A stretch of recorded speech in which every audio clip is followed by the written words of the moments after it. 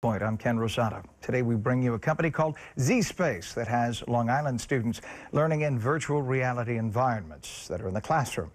We also bring you Back in the Game, an after-school program that's helping children and adolescents to recover from serious illnesses. But first, according to the Centers for Disease Control and Prevention, Americans suffer 1.5 million heart attacks and strokes each year, making cardiovascular disease, including heart disease and stroke, the leading cause of death in the United States. Well, a new book out suggests that a supplement, vitamin K2, might actually be the key to good health.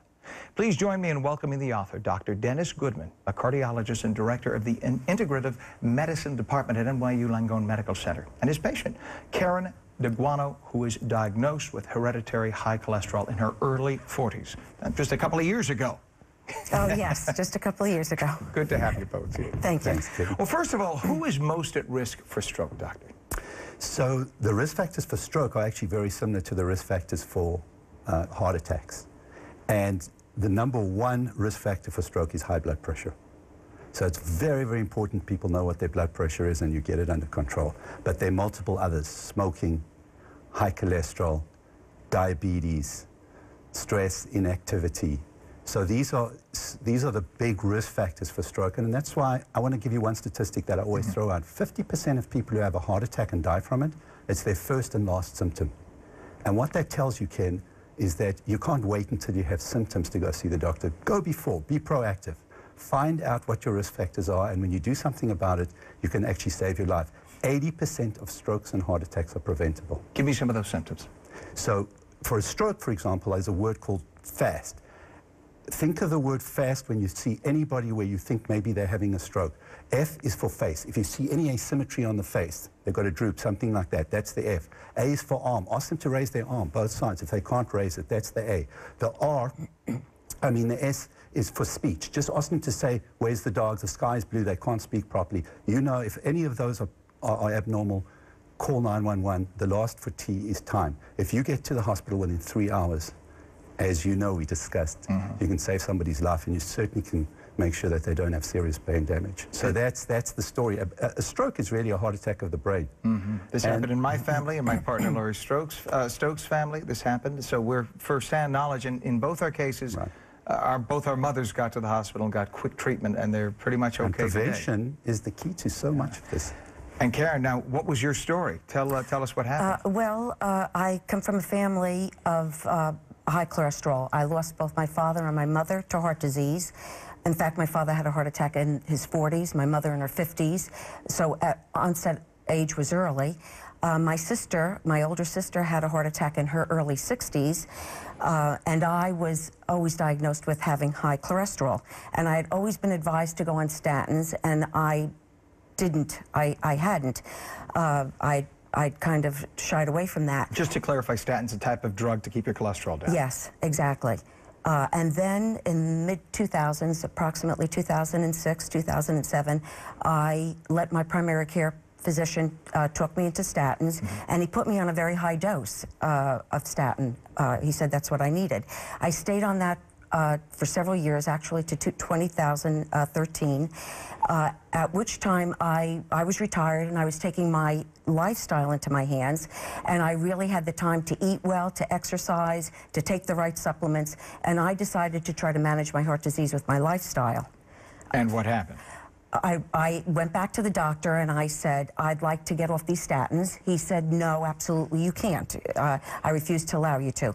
So I stopped, I wouldn't see him. I, I just didn't see a doctor for over a year.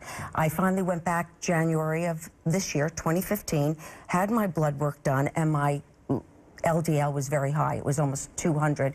The LDL and my which total cholesterol was around over right. 300. The low density lipoprotein, right, which is the, the cholesterol, which is yes. bad for you as opposed yes. to the HDL. Yes. And again, he said, you need statins. And at that time I had said, uh, I'd like to try to have a coronary calcium scan. I said I had had one when I was 51. Uh, my score was zero. I said I'd like to have that again before I go back on statins. I said because I know it's not a one-on-one -on -one correlation right. between LDL and calcification.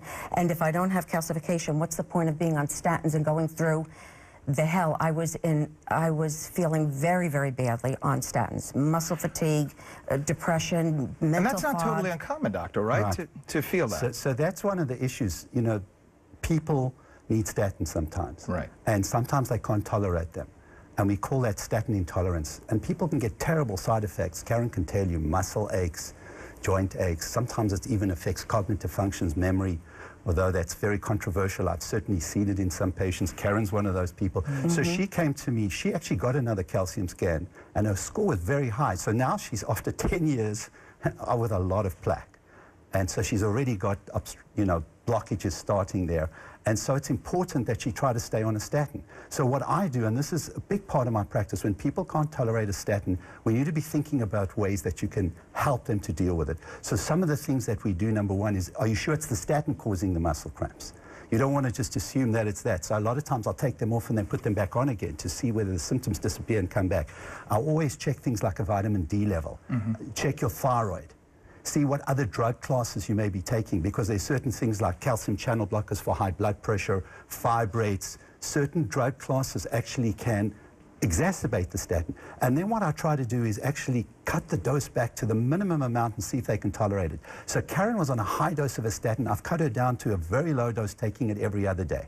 And then we had a conversation about supplements that may help her. Sure. So that's a big part of, uh, I think, the management, trying to get people on things that may help them. so And is one- this where the K2 comes and in? this is where K2, you know, it's very interesting. And I didn't know about K2 until recently myself. And then when I started to do the research, I got really, really actually amazed at the evidence out there that is suggesting that vitamin K2 keeps calcium in the bones. Ah, there's the key. And it doesn't allow it to build up in the arteries. And there was actually a recent study, it's just coming out, that maybe statins actually reduce the vitamin K2 levels in the body. And there was a recent study showed that when you're on statin, you can actually get increased calcification of the arteries. Wouldn't it be interesting we find out that there's depletion of K2 from statins, and maybe by taking this vitamin K2, you can actually prevent calcification? So because just- calcification actually is just the beginning of getting So I follow, just so I follow in English. Yes. So the K2 keeps the calcium in the bones because if there's if the calcium leaches from the bones, it then attaches to the arteries and then could break off the arteries, could cause heart attacks and strokes. Right. And Did it I may not necessarily properly? break up, but it certainly can cause blockages and put you at risk from heart attacks and Gotcha. stroke. So that's one of the things that I think is really important. And Karen's on vitamin K2 now to try to help prevent some of this calcification. And then other supplements like magnesium, krill oil, CoQ10. Now let's just talk about CoQ10 because people think take CoQ10 when you've got statin intolerance.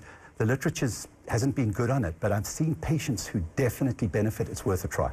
All right. Well, listen, there's so much more that we could talk. We could do we could do an hour on this, and I'm sure there's still more research to come. But the bottom line is, if you have problems taking statins, talk to another doctor, get a second opinion, because don't just drop the statins, but there is a possible But solution look for an out there. integrative cardiologist. Absolutely. The average cardiologist is not going to want to talk to you about supplements. I'll tell you that now. Well, Karen and Dr. Goodman, thank you so you, much. Ted. Continued good health to Thank you. you so much. And thank you again for being Thank on you. Thank Viewpoint. Thank today. you. Much appreciated. And we're coming right back with a company called zSpace and what they're doing for STEM education. Stay with us.